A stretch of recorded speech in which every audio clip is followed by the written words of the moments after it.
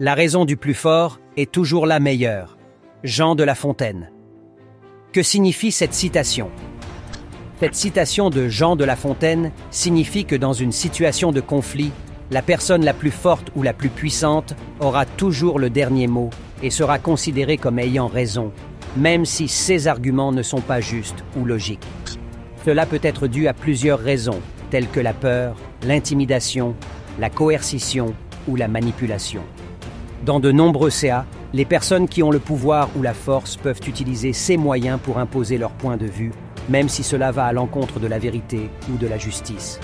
Par exemple, dans les systèmes politiques autoritaires, les dirigeants peuvent utiliser la force pour réprimer les dissidents et imposer leur volonté, même si cela va à l'encontre des droits de l'homme et des libertés civiles. De même, dans les relations personnelles, les personnes qui ont le pouvoir ou la force peuvent utiliser ces moyens pour contrôler ou manipuler les autres, même si cela va à l'encontre de leur bien-être ou de leurs intérêts. Par exemple, un conjoint violent peut utiliser la force pour contrôler son partenaire et imposer sa volonté, même si cela va à l'encontre de la sécurité et du bien-être de son partenaire. En fin de compte, cette citation souligne l'importance de la justice et de l'équité dans les relations humaines et dans les systèmes politiques.